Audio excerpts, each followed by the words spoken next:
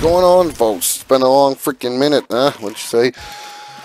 Well, I've had uh, a couple times now. I've been asked about how do you, you know, get your car information out of the game if you're NSB editing and you want to add some of the new cars that have been introduced. Uh, sometimes they're not in the dealership, so using you know Game Guardian or anything like that isn't going to help you. So this is when you definitely want to be editing NSB files.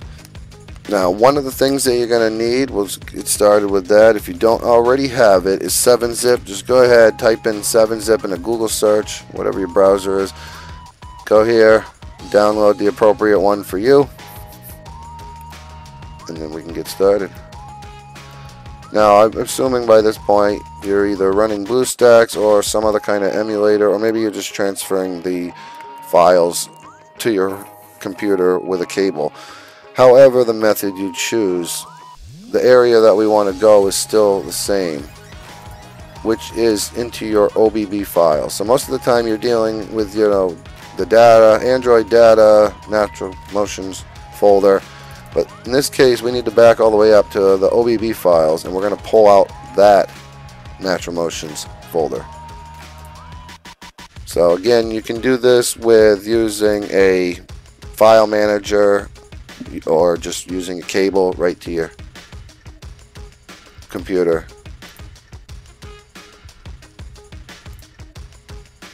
You can see the folders uh, in the process here.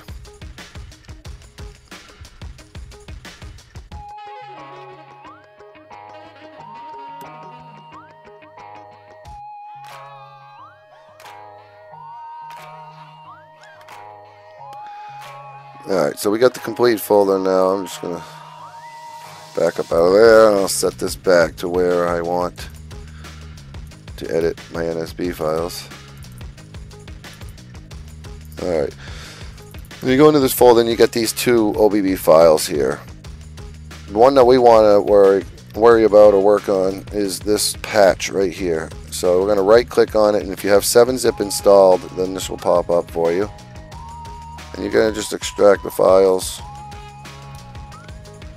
and then we'll proceed to the next step.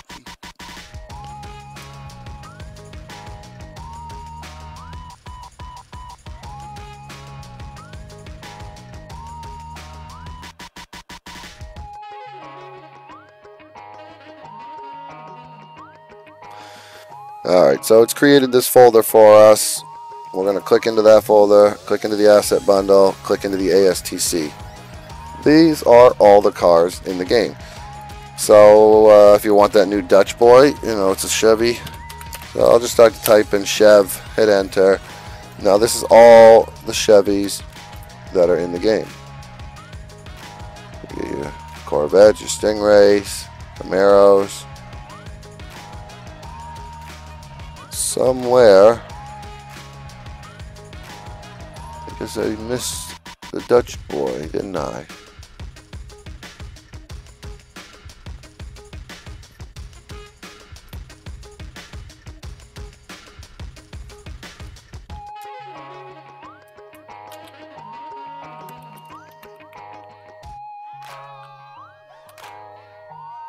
Alright, right here.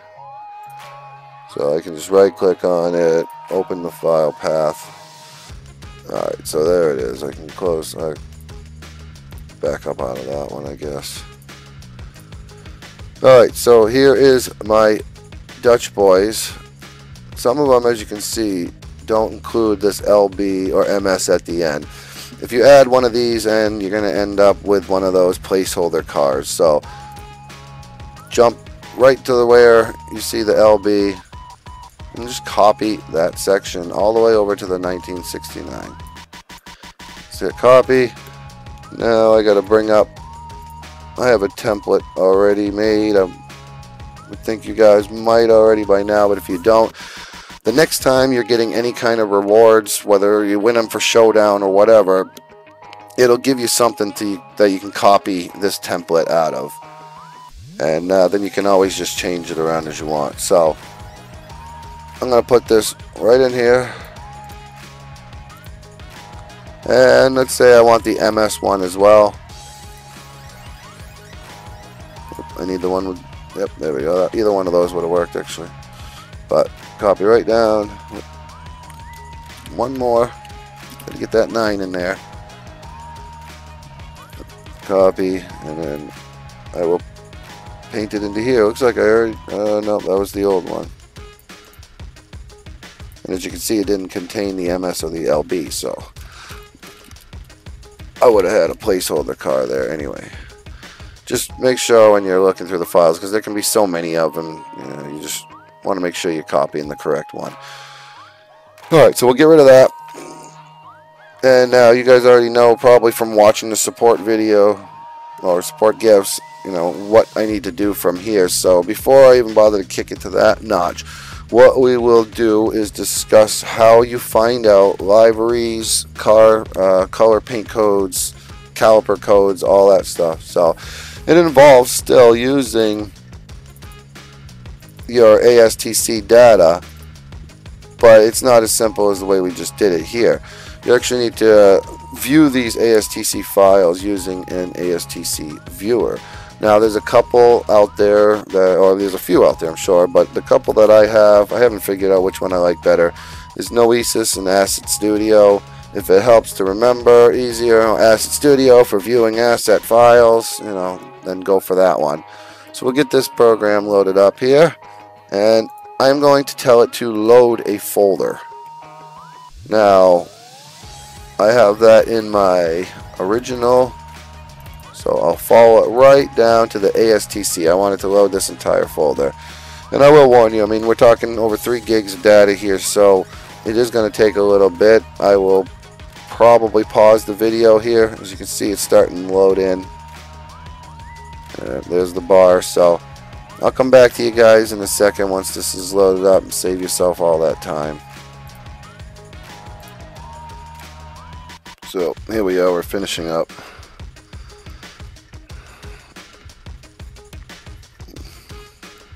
Get done loading them. Now, of course, reading them to put them into a list view.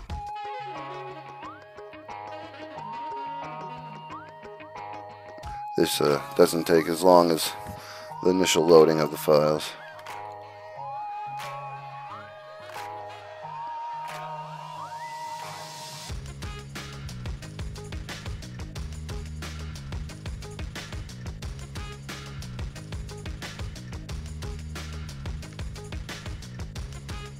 Still takes long enough though, huh?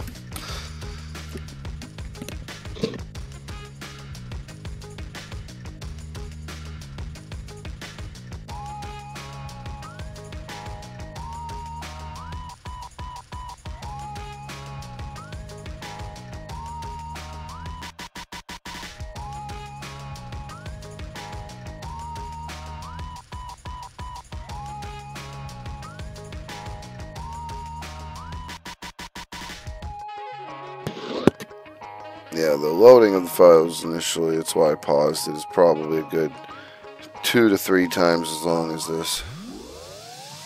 Now, of course, that can depend uh, on what you're using.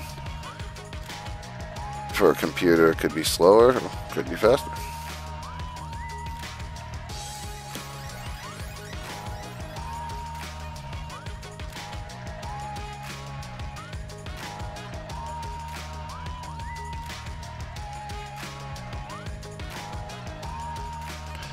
Alright, now I know you're looking at that like, what the hell? Well, we're going to click over on this asset list tab. And then here's all of the asset files that make up your cars. But the reason why we're in here, we're looking for libraries. What? Is going to finish it for me? No. I guess it's paused at the moment. There we go. Alright, so in here, all your libraries, these are where you get your codes. So for your caliper, you know, zero is for this, but for whatever reason, saying five is also the global black. As you continue down, one is global blue, two global gray, three global red, four global silver, and then it skips six, I mean five because it's up there. So six to global orange and so on.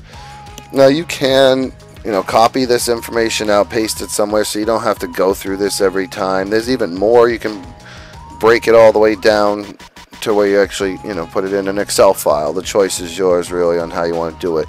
This doesn't, you know, seem like maybe it's a heck of a lot, you know, but when you start getting into your uh, paints, as you can see, this bar got really small. so there is a lot of different paint codes and a lot of this information you really don't need anyway. So you can filter that out but still it gives you your you know ID number 270 you for the different and tells you RBOF and you got your wraps your liveries your license plates you know all of the stuff that you can pull out of here and use when you start customizing your car with NSB editing now these numbers also still work for you if you're customizing your car through Game Guardian. Uh, so having this list of information is pretty handy anyway. So however you want to extract it out of there, you know, whether you right click paste, you know, extract it out through uh, an option in the, up here, export, you know, it's up to you. But either way, this is good information that you'll need for customizing your car. So get rid of that. I don't need this folder here so take care of that while that's going on I will now pull my latest files from the game yeah I don't have to load it first because I just had it running before this video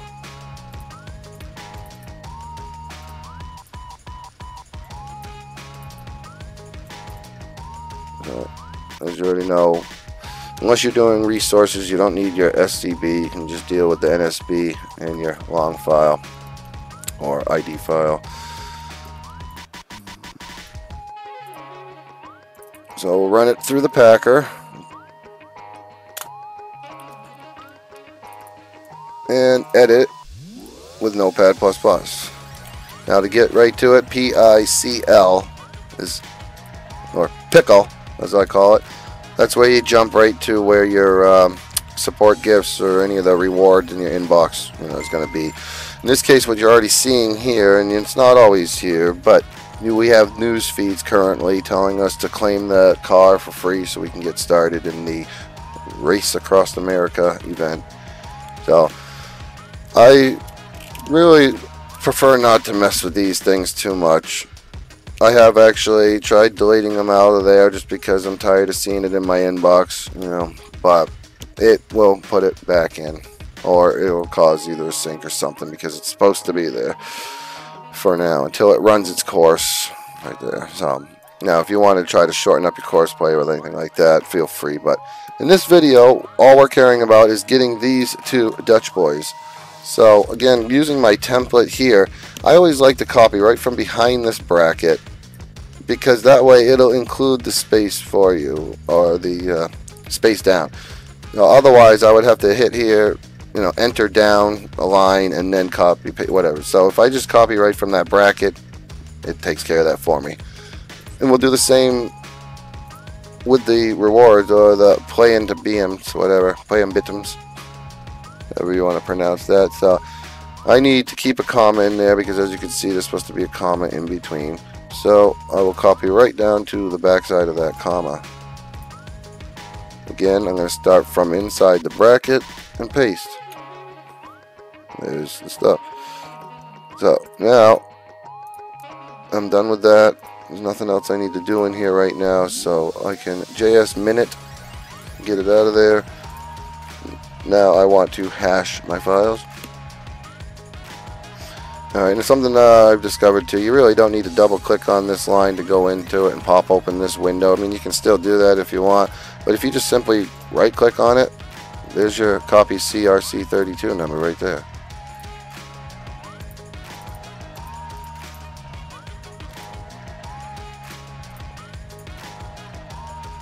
Alright, that's done. Save.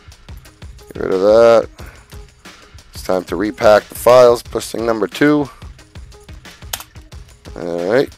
Let's move over to my finished And again, any of my other videos you've watched, you know I always start here because I want to make sure I don't have to launch the game first to get this number to change should it happen to already be matching this number. In this case, it doesn't, so copy it right over.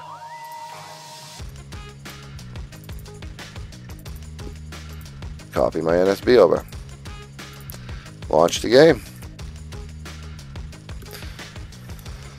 Well, that's going on. I might as well take a moment. I'm not going to need these files anymore. So, I mean, even if I did some reason mess something up, whether I added an extra character or whatever, I find it better to just let the game sync and then pull fresh files.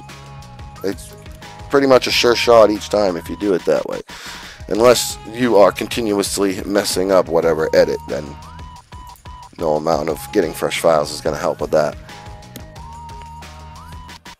But if you're pretty sure of your work, you know, anyway, you you don't have to redo those files. I just think it's a bad habit to get into. The better habit, fresh files.